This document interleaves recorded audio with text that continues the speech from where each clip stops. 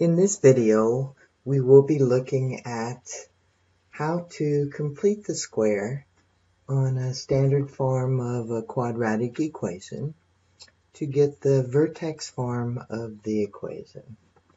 Then we're going to graph the parabola, give the vertex, the axis of symmetry, the domain, and the range. Our first step when we're completing the square is to write this function as y equals. So we have y equals 2x squared plus x minus 6. Um, we cannot complete the square as long as the lead coefficient is a number other than 1. So I need to divide by 2 to get that off of there. So I now have y over 2 equals, these cancel, and I have x squared. I'll also need to use the coefficient of x separate from x, so I'm going to write this as 1 half x. And then the negative 6 over 2 I'm going to write as negative 3, and I'm going to move it over a little bit. My next step is to take the coefficient of x and half it, then square that result, and then add it and subtract it. So um, let's take the 1 half, the coefficient of my x, multiply that by 1 half, and I'll get 1 fourth, then square that value, I'll have 1 16th. And then I'm going to add that and subtract it from the right side of my equation. So plus 1 16th and minus 1 16th. Now I know that that looks like, well, why do that? They're just going to cancel each other off. But in our next step, we're going to take this um, trinomial right here and factor it. And then we're going to combine these two terms. So we needed this 1 16th to make this trinomial a perfect square trinomial. Let me copy y over 2. And then this perfect square trinomial then factors into x plus Hmm. Remember that we always square root the first term to get our first term in the binomial. Then we take this operation from the middle term and then square root this last term in the trinomial for this one. Doing the math here, we get, this is 3 over 1, so we'll multiply top and bottom by 16 to get a common denominator we have negative 48 over 16 and a negative 1 over 16. So now I have a negative 49 over 16. My last step is to multiply through by 2 to get this back to y equals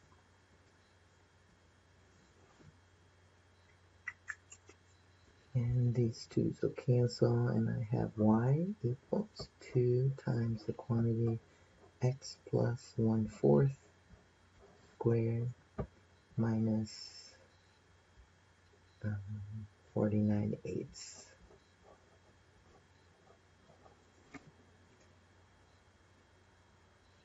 Alright, let's take a look at this vertex form and I'm going to rewrite this as x subtract a negative 1 fourth. And then 49 over 8 is the same as 6 and 1 eighth. So I can see then my vertex is going to be the point negative 1 fourth negative 6 and 1 eighth. I also need to give my axis of symmetry Um, that's going to be x equals negative one-fourth. Now these numbers are different, so I want to show you uh, one other thing that helps with graphing. Um, let's see.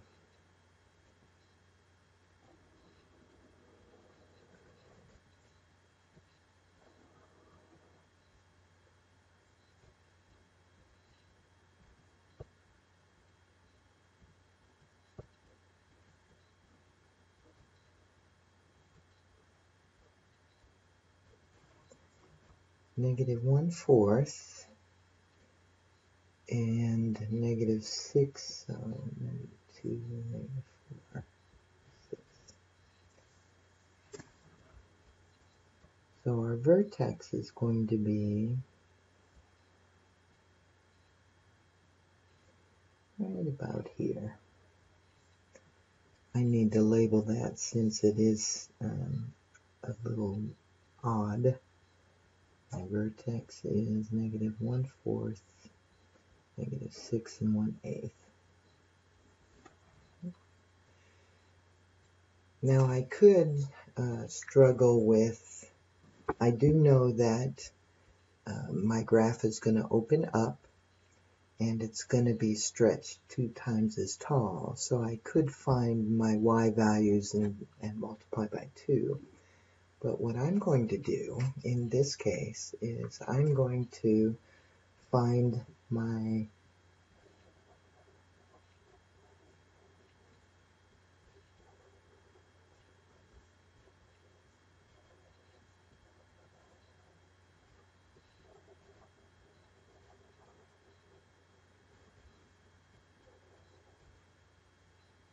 I'm going to find my x-intercepts.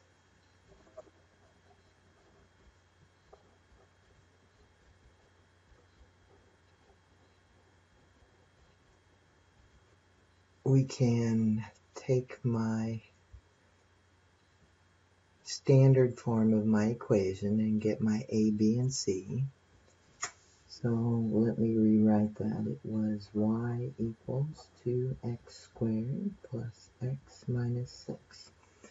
So remember to get your x-intercepts, you let y equal 0. So I have 0 equals 2x squared plus x minus 6 a is equal to 2, b is equal to 1, and c is equal to negative 6. Let's get our um, x-intercepts by using quadratic formula. So x equals a negative b plus or minus square root of b squared minus 4 times a times c all over 2a.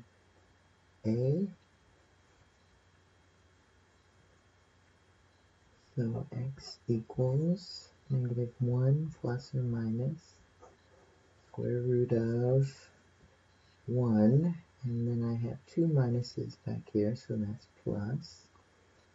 4 times 2 is 8, times 6 is 48 all over 4. So I have negative 1 plus or minus root 49 over 4. Negative 1 plus or minus 7 over 4. So it looks like um, x is equal to Negative 1 plus 7 is 6 over 4, which is 3 halves. And negative 1 minus 7 is negative 8 over 4, which is negative 2. So my x-intercepts are 1 and a half and negative 2. So that gives us two points. that are pretty far away from my vertex that I can